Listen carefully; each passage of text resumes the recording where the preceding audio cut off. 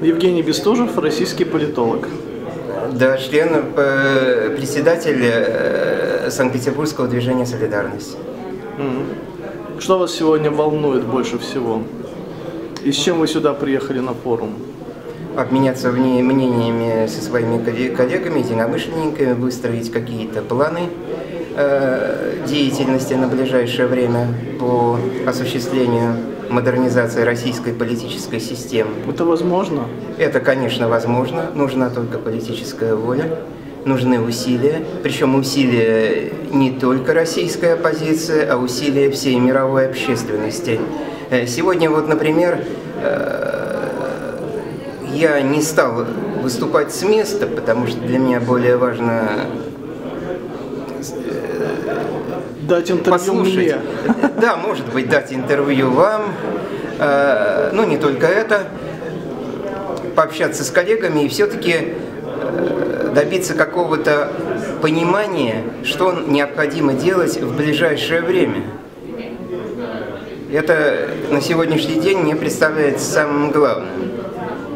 Не ограничиваться какими-то общими обсуждениями, ну а что вы что делаете? потом забываете. А что значит, вы делаете? Что предлагаете? Значит, во-первых, это э, сейчас я делаю, я исследую опыт политической модернизации, которая была осуществлена в разных странах на разных континентах. А, сегодня много говорилось вот в ходе первой сессии о том, что в России настолько все безнадежно, э, в ближайшее время никакие перемены нас не ждут. Э, я считаю, что это не так все-таки э, процесс э, слома э, той политической системы, которая основана на мракобесии, отстое, неуважении к человеческим правам, попрании, попрании международных правовых норм, не может длиться долго.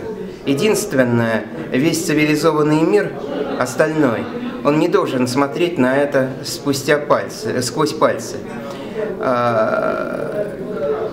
Следует отметить, что 50, 50 лет назад, вот мы недавно отмечали 50-летие, эта организация была создана Всемирная антикоммунистическая лига, ВАКЛ. 50 лет назад мир также капитулировал перед коммунистической системой. Казалось, что коммунизм побеждает везде.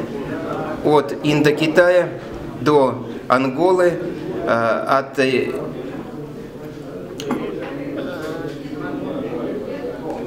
Ну, везде. Э, Латинской Америки до Москвы.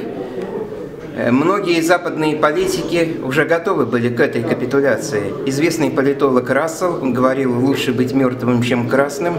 Э, некоторые читали лекции профессора в Гарвардском университете, заявляли даже о том, что мы должны достойно встретить поражение с белым флагом в одной руке, красным в другую и типа этого.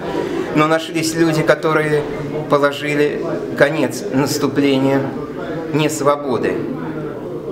И тогда образовался некий симбиоз между э, политическим эстеблишментом западного мира и э, теми людьми, которые вели подпольную борьбу против тоталитарных диктатур.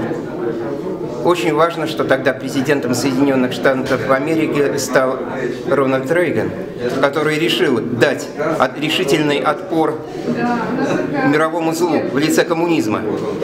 Э, великий Рони тогда сказал, что э, так не бывает, чтобы, э, мы, что мы живем в условиях свободы, нам хорошо, а вы идите своим тоталитарным лесом. Свобода имманентна. Она либо существует везде, либо ее нет нигде. Если ее нет где-то, значит ее нет нигде. И не свобода должна уничтожаться. Коммунизм несет не свободу, значит смерть коммунизму. Тогда политики проявили решимость. Сейчас происходит то, что мы видели в середине 60-х годов. Но уже снова находятся люди, и в России, и на Западе готовы изменить это положение. Разумеется, Запад погряз в своем благополучии, не желает напрягаться, не желает бороться за свои ценности. Но этому приходит конец.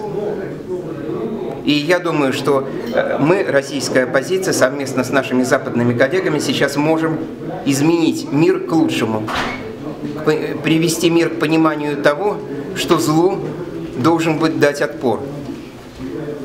И э, еще э, нужно вести э, пропагандистскую работу, противодействовать пропаганде Кремля, той лжи, той дезинформации. Дело в том, что путинизм на, внешнем рынке он представляет себя несколько иначе, чем внутри страны. Если внутри России это возрождение совка самого отстойного, самого гнилого, самого мерзкого, реабилитация советских преступлений, то э, во внешнем мире он как бы борец с исламским терроризмом, некий такой э, буферный форпост, защищающий западную цивилизацию. Это не так. И еще нужно учитывать, что э, главное стратегическое оружие Кремля, против, направленное против Запада, против цивилизованного мира, который ему органически ненавистен, это экспорт системной коррупции, кооптации элит. И этому нужно тоже противодействовать. И без российской, без связи э, западных политиков с российской оппозицией, без э, того, что мы создадим единый фронт противодействия злу, мы ничего не добьемся. Мы не изменим мир к лучшему. Спасибо.